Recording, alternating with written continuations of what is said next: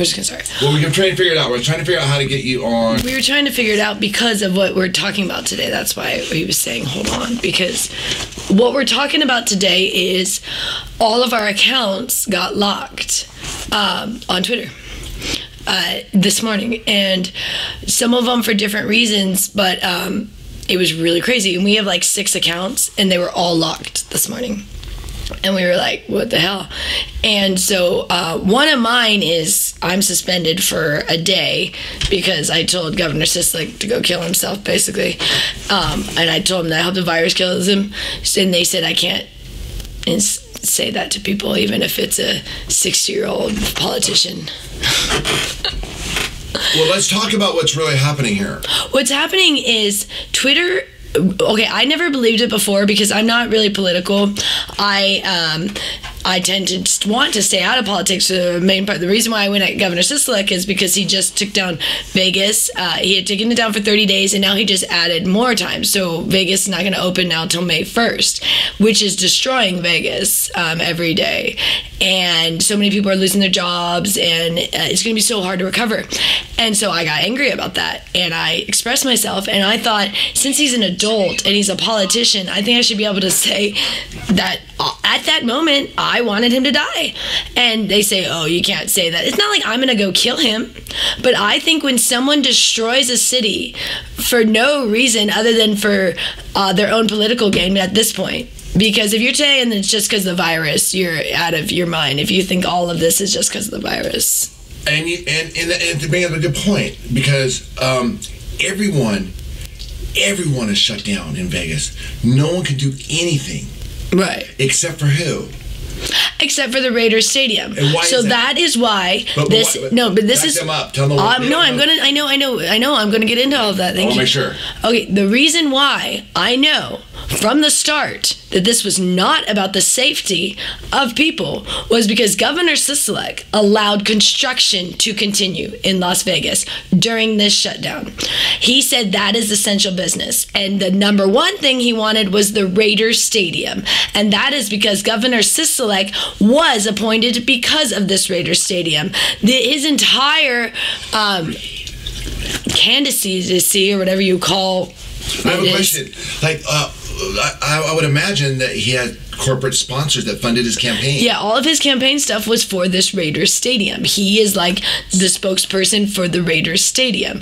And the Raiders Stadium has had a lot of issues, and they didn't want one more thing like not being able to work through this entire thing because then they might not actually open in 2020, which I don't even know if they're going to at this point with everything going on. This is insane. But Governor Sisolak wanted his stadium crew to continue, and now they've even had some people test positive for the COVID virus and they continue to work. But Governor Sisolak put more regulations on everything else in Vegas to be shut down until May 1st, even though it was going to be originally allowed to be open on April 17th or 18th, one of those days. Now they have to wait till May 1st. But Raider Stadium, continue your construction and all other construction. So if you're really worried about the health of anyone, you would have definitely shut down the stadium when a worker tested positive for the COVID virus. There's actually workers that are scared to work there because they know that their other workers have tested positive and they're having to go to work and they might get the virus. So if you're telling me this is all about a virus, you are out of your mind because if it was, then they would not be working and no construction would be going. Okay, I'm gonna I'm gonna pause you here. It's about a virus, okay? It's about a virus that's gonna kill about three to four times as many as normal of our elderly.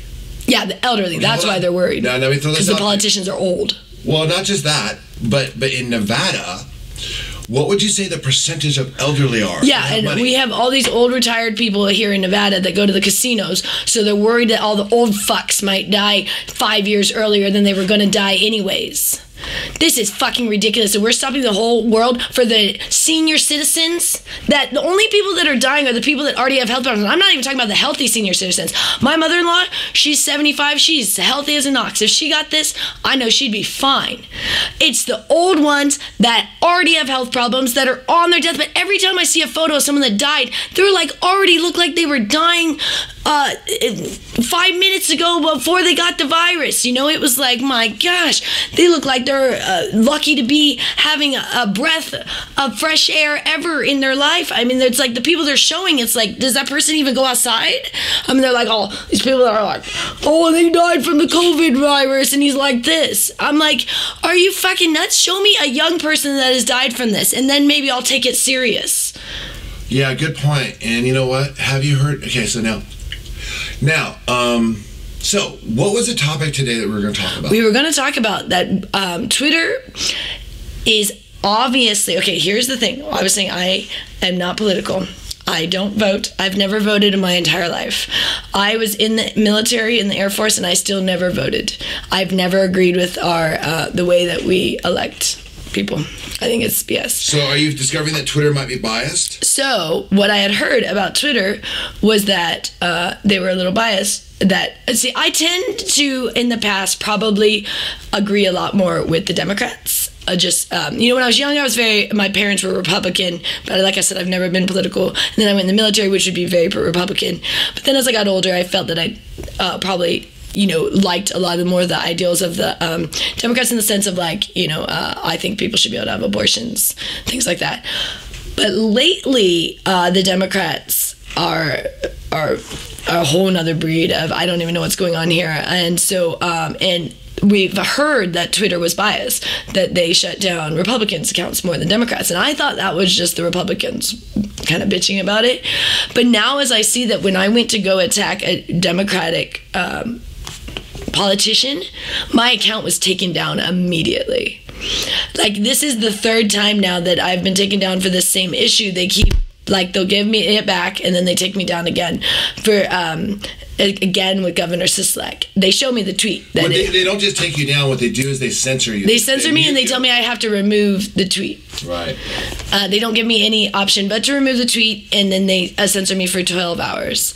Um, and this is the third time they've done it. For uh, for it's three different tweets that I just was yelling at Governor Sisolak about, and um, it's weird because I've get, gone at a lot of people like online, like in the sense of like when we're angry, we've you know yelled at people, and I've never been taken down that fast as they did for when I went at a Democratic politician. So now I'm starting to believe that maybe some of those people are right. Maybe some of those because you know there's such extremes. You have extremes on each side of you have extreme Republicans and extreme Democrats.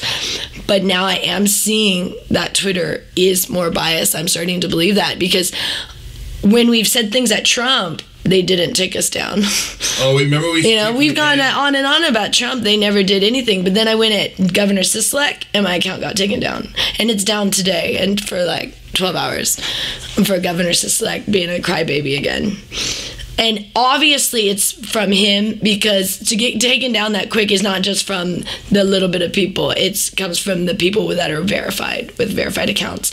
Is how you get your stuff taken down. And we had all of our accounts locked this morning. We have six accounts. They were all locked this morning when we go woke up.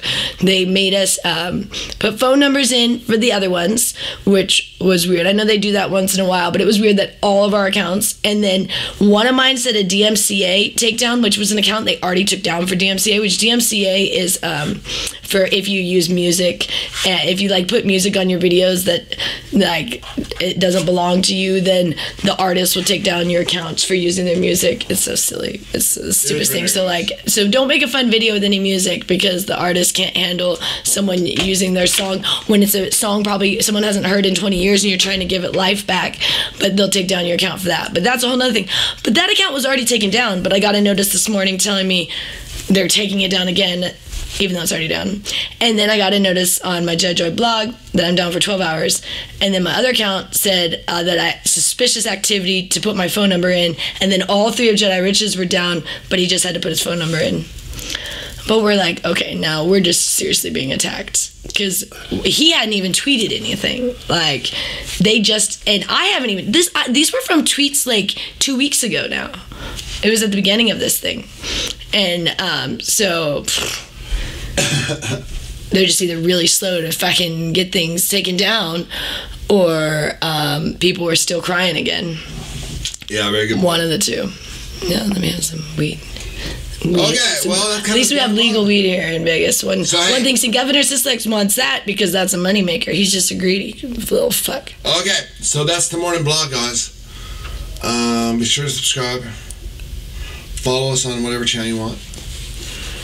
And we will be back with more fun stuff today. Probably Yeah, so you can find us on gyrus.com, um, yeah, on we're at. YouTube. Tell them where to start finding us YouTube, find us. Yeah, we keep getting taken down, so you got to find us sometimes just at JediRich.com. If you don't know where we are, go to our website because all our accounts get taken down all the time. We have to create new accounts all the time. It's really ridiculous. but um, right now we have YouTube is Jedi Rich creative producer and the Naked Jedi. I don't really have one over there. I had four YouTube accounts taken down, so I kind of stopped doing YouTube for a minute. And then um, on Twitter, I have Jedi Joy's blog, which right now I'm muted for 12 hours, and then uh, which is probably less than that because I think the 12 hours started a couple hours ago. Um, so tomorrow I'll be good. And then um, Jedi Rich Com on Twitter and the Naked Jedi. But just keep coming to our website if you can't find us because they take us down all the time. I also have a another Jedi Joy Rich show on uh, Twitter, but it's at JJRS show because my first Jedi Joy Rich show got taken down. how'd that happen? That one was for music. And that's the one they sent me another notice today saying it was taken down, but it's already taken down. So they're, they're like, oh, your account's taken down again. It's another topic for next blog, but but quite honestly, I mean, what better advertisement? I know I can't understand why the artists don't want you to promote their music. Because what we say is like, hey, we're doing this song. We're not saying it's ours. We're saying like, hey, we're singing this song. It's at Justin Bieber or at Miley Cyrus or whoever it is, and you would think like you're promoting their music. I, I can't imagine, but they think there's this whole thing of like you can't make money off my. Well, we're not making money. For one thing, um, on YouTube, you need a thousand subscribers before you could even make money. So if you ever see anyone with less than a thousand subscribers, get out of your head that they're making any money. Um, people get this idea that like you can go to YouTube and immediately start making money. It's not really that way. It's actually a lot of work to get enough subscribers to make money and then it's still work after that. Um, people get this idea that you're people are making all this money on uh, social media and on twitter. I don't know how you make money unless someone is paying you.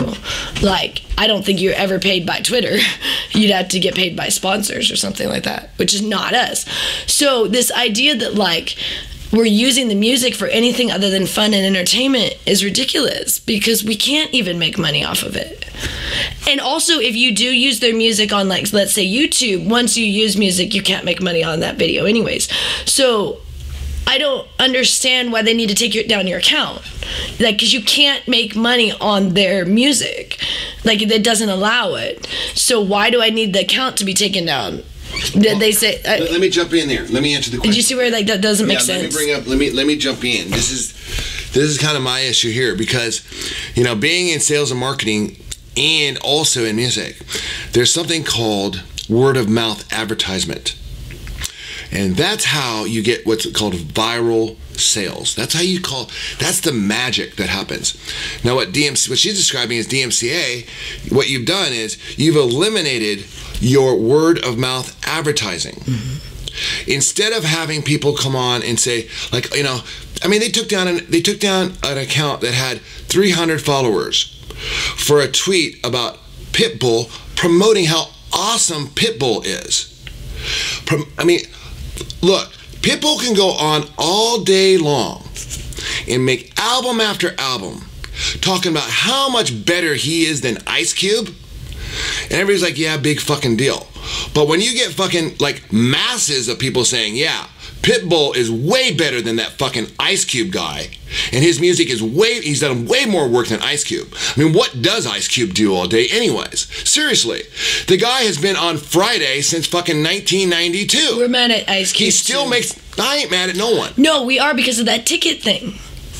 Oh, right. That's it. We got He's- screwed okay, over with our that Ice brings Cube up another issue. here in Vegas. Okay, in Vegas, you see what they do is they fund their casinos and their business on speculative money. We know how that works when we get, let's say, our pay, you know, we have money on the weekend and we want to like make things balance and so we take money here, we know money's coming here and do that. We know the bank's not going to clear it. We take the ATMs out and we make sure we get the money in by Monday.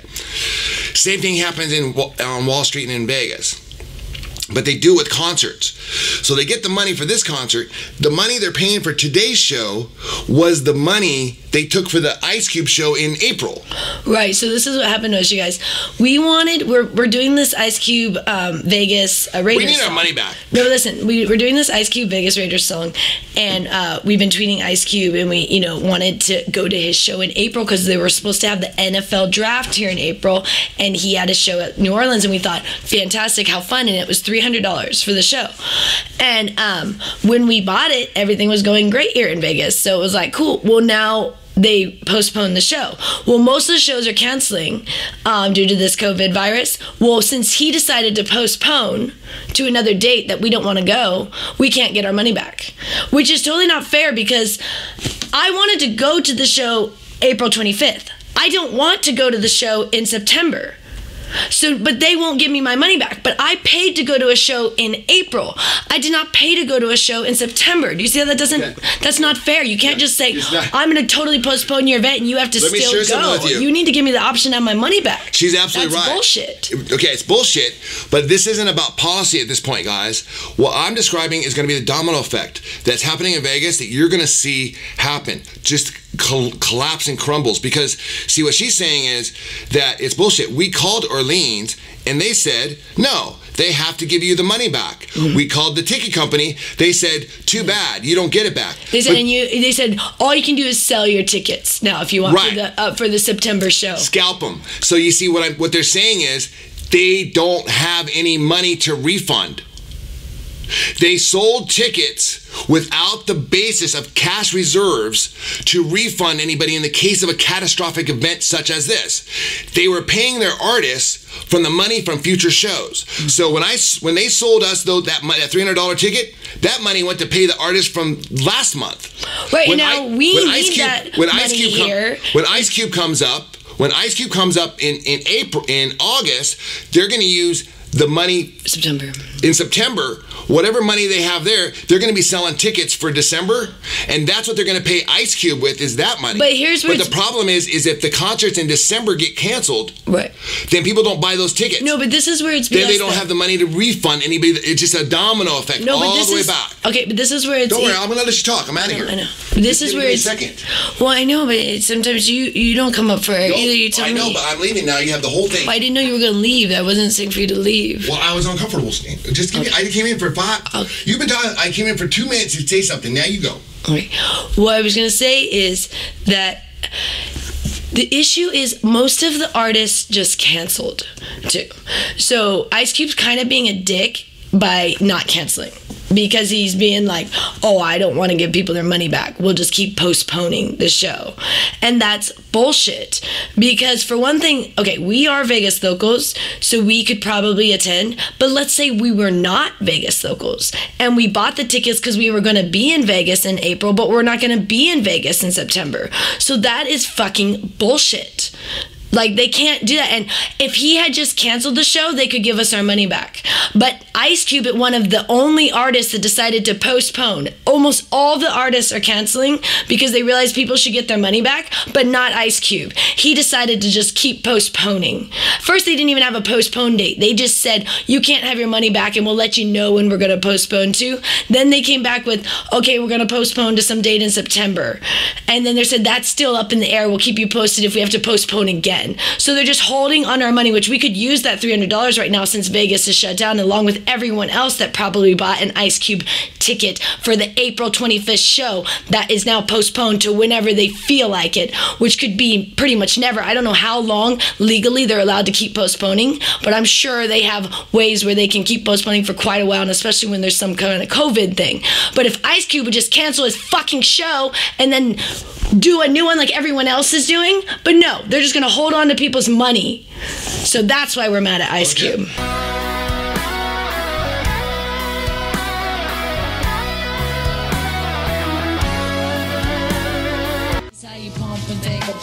Not to death, I'm not impressed. I'm not amused, I'm not confused, I'm not confused. I'm a grown man business, I'm not in school. Put your hand down, youngin', this is not for you. On my jail, my beats with the Kanye yo. Name on the market, your name off the payroll. Style fresh Like like I'm still a Dayo, and it's been like that since the day yo. On more time than a Rolly or Seiko. Step on deck, your neck, or do what I say so. Get up or get out, get down and lay low.